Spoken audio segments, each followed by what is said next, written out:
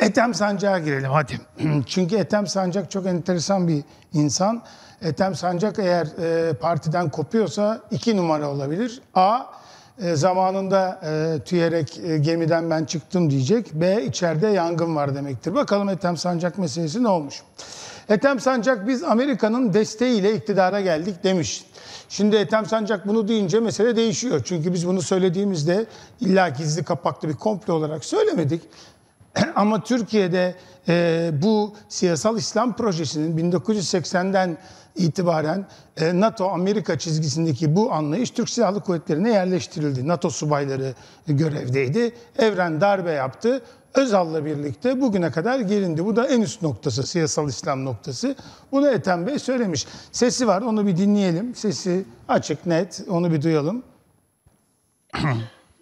bu millet e, Tayyip Erdoğan'ı seçti. Tayyip Erdoğan Büyük Orta Doğu Projesi'nin eş başkanı. Aslında Amerika'nın desteğiyle. İşte e, bu millet e, Tayyip Erdoğan'ı seçti. Tayyip Erdoğan Büyük Orta Doğu Projesi'nin eş başkanı. Aslında Amerika'nın desteğiyle. Şimdi Ethem Sancak'ın geçmişinde e, çok ilginç yerler var. E, Bu Amerika organizasyonu meselesini biliyoruz. Ethem Sancak bu arada AKP döneminde çok büyük bir ekonomi oluşturdu. AKP'nin varlığında Fethullah Gülen cemaatiyle bir koalisyon vardı. Hep söyledik. Gülen cemaati çok güçlüydü bürokraside. Yanında AKP'nin e, gömlek çıkartan siyasal İslamcı kadroları ve liberaller vardı. Eski Mao'cu olduğu için Sayın Sancak orada da görev yapıyordu. Kendimi Hoca Efendi'nin hareketine ait görüyorum diyen bir kimse. Tabii orada da kendilerince bir şey yarattılar. Ee, ve e, bunun da şeyi var, e, bir gerekçesi var. Şimdi Perinçe'yi bir de e, göreceğiz. Bu e, AKP'den, AKP ile ilişkiyi kurduğu dönemdeki e, ilk hali. Ondan öncesinde e, ne var Sayın Sancak'ın? Yani aslında onun evrimi bize çok büyük bir şey gösteriyor ve e, Sayın Sancak'la e, Sayın Perinçek'in e, birlikteliği. Gerçi şimdi hepsi yan yana. Ya orada da kafam karıştı. Perinçek orada, Sancak ayrıldı mı onu da bilmiyorum. Sancak dedi ki bir partiden ayrılmakla bir şey olmaz. Şimdi bakın neler söyledik. Bir, Amerika desteğiyle geldi dedik. E, dolayısıyla Perinçek Amerika'ya karşıyım dediği için demek ki orada gömlek, çıkart, gömlek çıkartmış.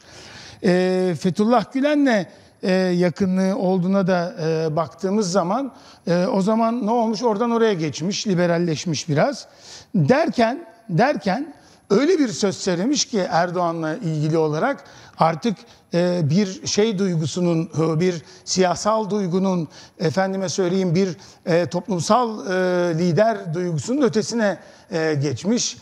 Oradaki şey de şu e, diyor ki önce sıra 5. imparatorluğu kurmakta. Bu da başkanlık sistemiyle mümkün. Şimdi en büyük yere e, geleceğiz e, bunun şeyine. Önce bir Sayın Sancak'ı izleyelim yani tabloyu na- nasıl geldiğini göreceğiz ve finalde bomba e, geliyor. Evet. İmparatorlukları ortaya çıkartan yönetim sistemleridir. İyi bir yönetim sisteminiz yoksa iddia sahibi olamazsınız. Biz bu sistemle dört büyük imparatorluk inşa ettik. Selçuklu, Eyyubi, Memluk ve Osmanlı. Bin yıl boyunca bu Türkler insanlığa hizmet ettiler. Şimdi sıra geldi 5. imparatorluğu inşa etmeye. Bu da başkanlık sistemiyle başlar. İmparatorlukları ortaya çıkartan yönetim sistemleridir.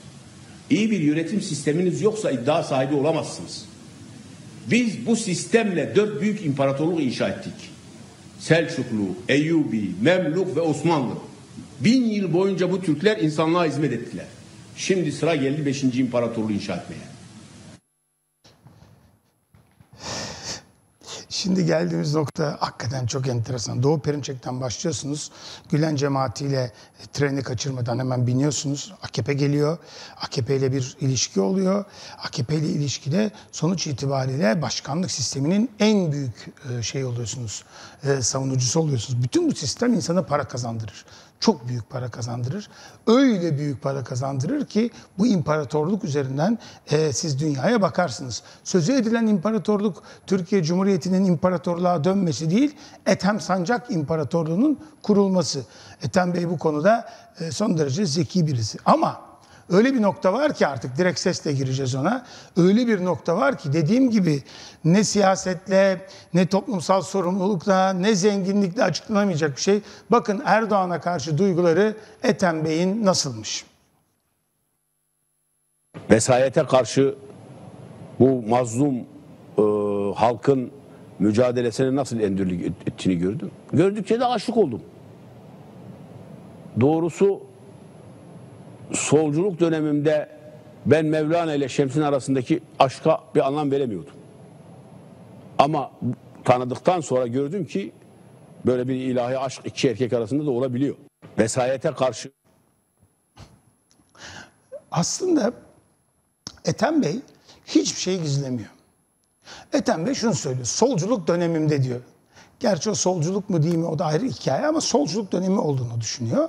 Ve o zaman Mevlana ile Şems'in aşkını anlamamış o e, işte e, tanrısal e, bulduğu böyle insanın insandan aka, e, insanın insandan e, birbirini akıttığı o kutsallık neyse artık o.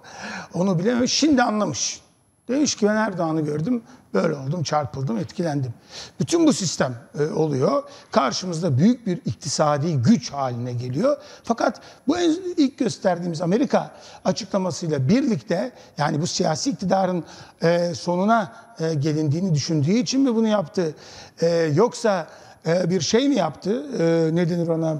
E, buradan bir hareketle e, başka bir mesaj mı vermek istedi bilmiyorum. Ama sonuç itibariyle gördüğümüz e, bu büyük aşkın biraz e, sekteye uğradığı yönünde. Şimdi bir son dakika var. E, Cumhurbaşkanı e, Erdoğan e, Kılıç, Cumhurbaşkanı Kılıçdaroğlu'ndan sözleri için 1 milyon lira tazminat e, istemiş. CHP liderine Beşli Çete e, davası. E, şimdi bu 1 milyon lirayı Sayın Cumhurbaşkanı kazanır. Çünkü sonuç itibariyle yargı kendisine bağlı. Diyecek ki ey Kemal öde paraları falan. E, bu paraları da işte partililer kendi aralarında topluyor falan ödüyor. Sayın Kılıçdaroğlu'nun oturup da bu paraları ödeyecek hali yok. Hani hiçbir şey e, olmasa da Kılıçdaroğlu'nun bu ekonomik durumuna, dürüstlüğüne falan toplumda herkes ikna. Ama Beşli Çete bu şeyle birlikte e, bu e, ne diyeyim e, dava ile birlikte emsal davaya dönüşecek. Biz de ekranda e, e, diyemeyeceğiz. Ama o zaman elimizde bir silah var. Hazal. Bunu özellikle duyun. Hasan sen de duy. Hasan yönetmen. Bakın beşli çete demek suç olduğu için hepimiz Devlet Bahçeli haline e, dönüyoruz. Hasan hazır mısın? A- altıdan bir çıkar. Ne kalır? Beş. Dörde bir ekle ne olur? Beş. Beş. Peki bu beşin yanına Türkiye ile faydalı olan beş tane ne koyarız? İş adamı. Değil mi? Bu iş adamlarını yan yana koyduğumuzda ne deriz? Beş iş adamı, beşli iş adamı.